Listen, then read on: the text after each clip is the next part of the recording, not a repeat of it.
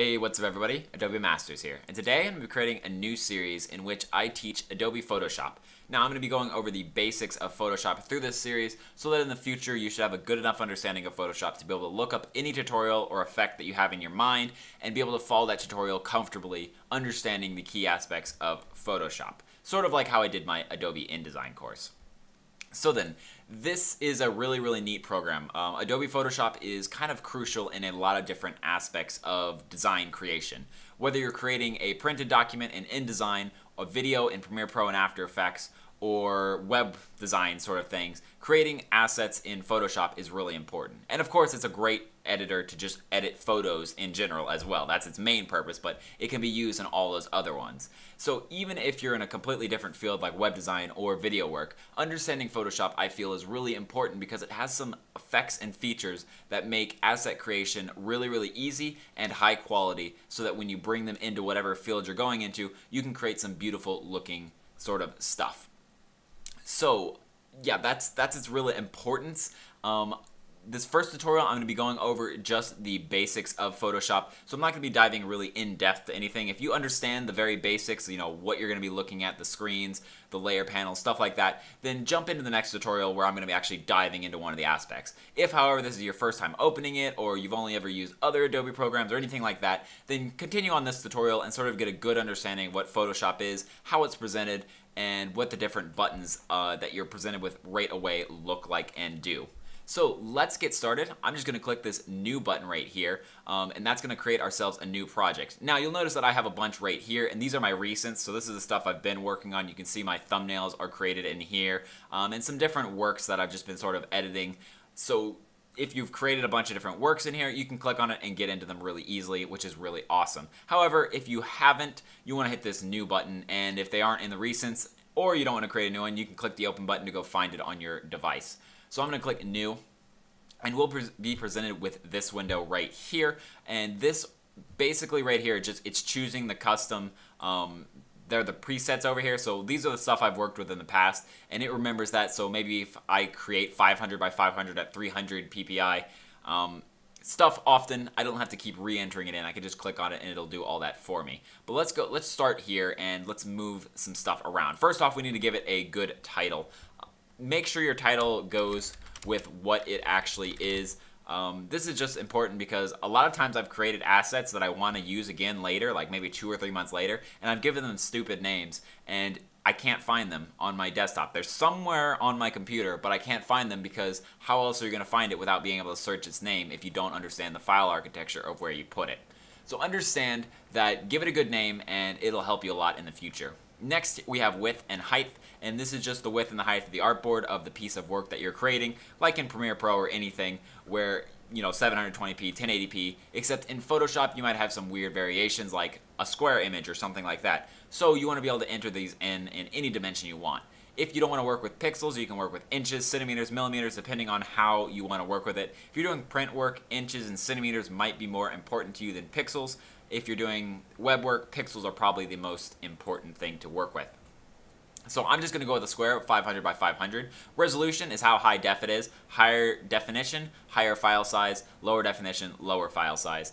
There's, you know, of course, a happy median with whatever you're working with. So kind of look that up and figure it out. Um, 300 is usually deemed high definition, where anything uh, lower than that is, you know, lower than lower definition. Higher than that is extremely high definition and might be there I don't think any monitors could even see past that except for maybe like 4K retina display stuff like that. So you want to just kind of keep this somewhere between like 100 and 300 and look up sort of what the dimensions are at the time of watching this because I'm sure in a year or two the higher resolutions will be in the 500s or 600s or something like that.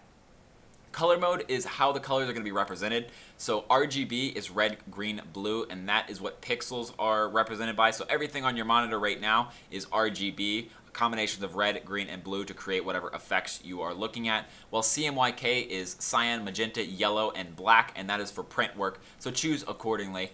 And then bits is how big the range of the colors are, so it's 2 to the whatever the bit is, is how many colors in that certain shade you have. So for example, um, 2 to the 8 bits would be how many different colors of orange you could get, while 2 to the 16th is a whole lot more than that. 2 to the 32nd is a whole lot more than that. So again, more bits, more data size, but under um, and more quality.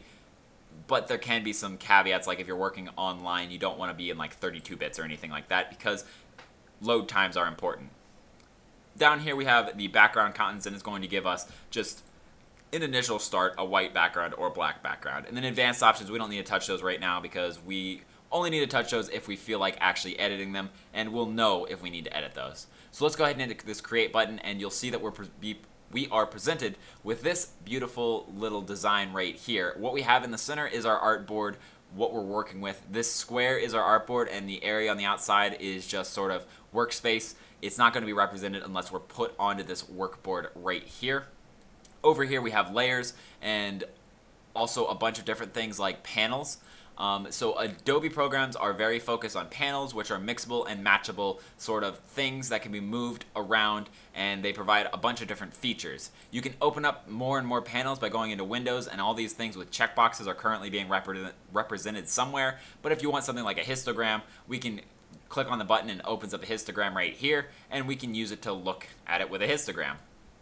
Now, understanding that these are completely mixable and matchable is also important. So we can create our own little panels here. We can drag them anywhere we want. You'll see that like we just created ourselves an entire another row. We can, you know, detach this whole thing and, you know, we want to move it around like this. We want it over here instead of attached to the side so we can move the, the size around. You know, it's very customizable to how you want to work.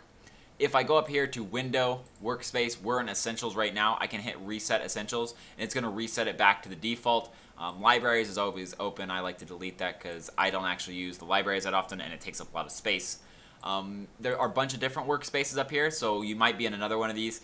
And basically what these are is you click on them, it's going to rearrange all the panels and the views so that it is best suited for whatever it says. So if you're working in 3D, it's going to rearrange it for 3D stuff, um, like with the 3D layer sort of prominent here, to rearrange the tools, stuff like that. So we're just to work with essentials right now because it's the essentials, it's the basic where you might start. Next thing that's important is the layers tab down here. Layers are just different elements being put on top of each other. Think of them almost like stickers, where if you put a bunch of stickers on top of each other, they are all going to be represented in here. And if you had a bunch of like piece stickers, like stickers like let's say a puzzle piece and you put them all together perfectly it might look like one big sticker. And that's kind of how this is going to work is that when you create different layers and move stuff around you're going to create these stickers and these effects that are all going to go on top of each other to create your final image. And then when you render it out or export it or save it whatever you want to call that um, it's going to condense those all down to one image one sticker that you can put anywhere and you can load onto web pages and stuff like that if we want to create ourselves a new layer, we can click this little button right down here, and it creates a new layer just like that. You can also go up here, layer, new, layer, just like that.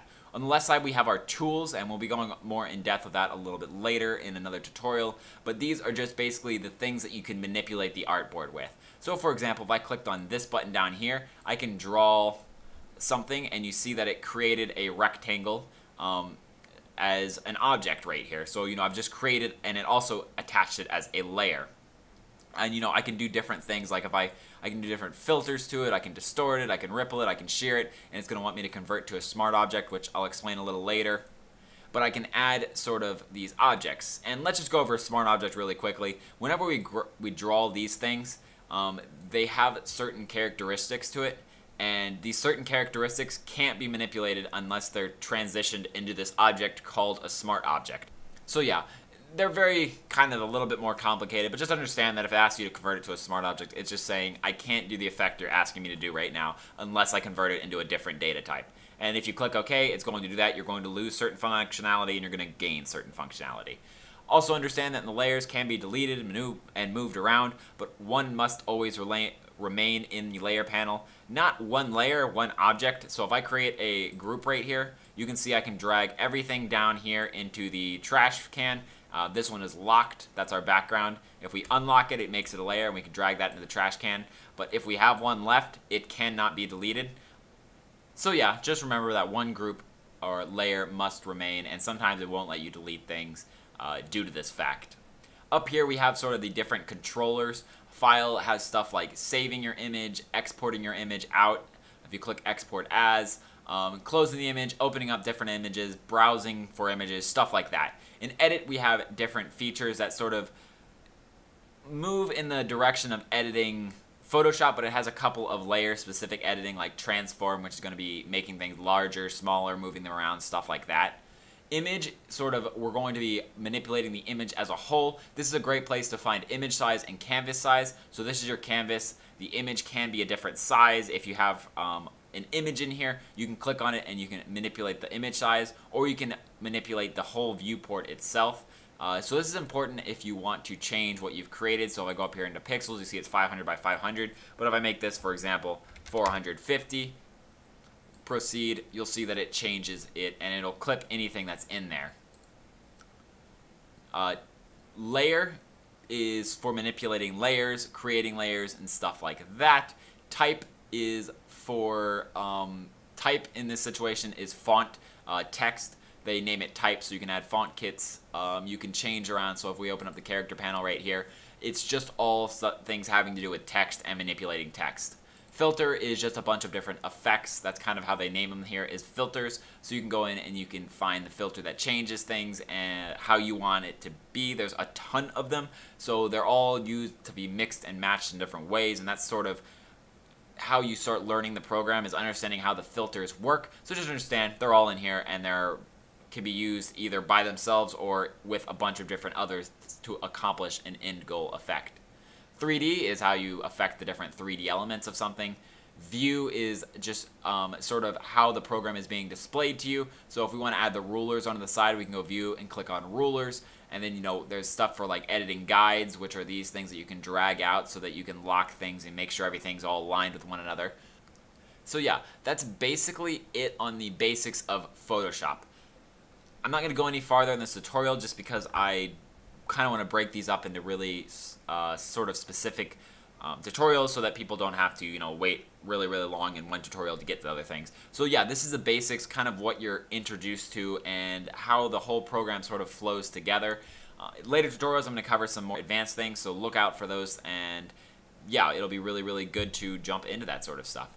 Thanks everyone for joining me for this tutorial. If you got any questions or comments or areas of Photoshop that you want to see, go ahead and leave those in the comments below. Uh, if you want to see more videos similar to this one, more Adobe related content, go ahead and hit the subscribe button. I make videos every other day. And until next time guys, see ya.